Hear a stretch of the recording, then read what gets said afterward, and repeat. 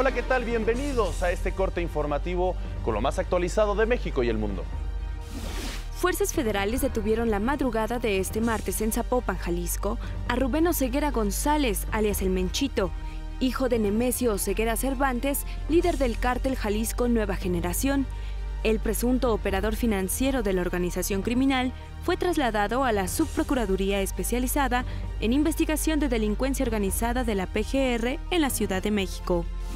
El secretario de Comunicaciones y Transportes, Gerardo Ruiz Esparza, realizó en compañía de otros funcionarios un recorrido de supervisión para verificar los avances del programa hidráulico del lago de Texcoco, parte fundamental de las obras de la futura terminal aérea.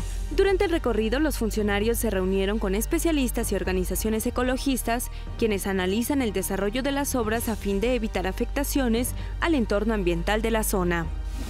A partir de hoy, el SAT pone a disposición de contribuyentes una versión de prueba del Declarasat que emplearán para presentar su declaración anual en 2016.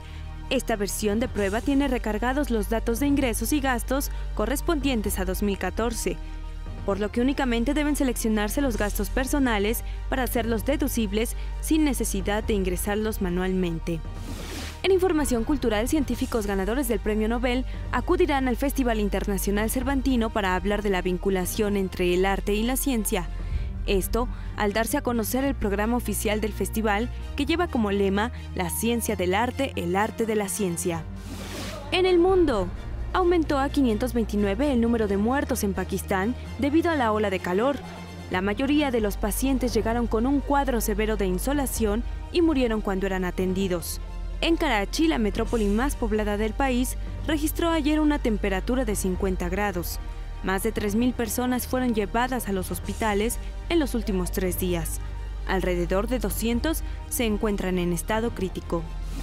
Y en los deportes, a través de su portal, la Liga Mexicana de Béisbol dio a conocer la suspensión por el resto de la temporada al pitcher de los Sultanes de Monterrey, Alfredo Aceves, después de estudiar los videos del incidente del sábado en el que reclamó al umpire principal, Demian Hernández, al que terminó golpeando en el rostro.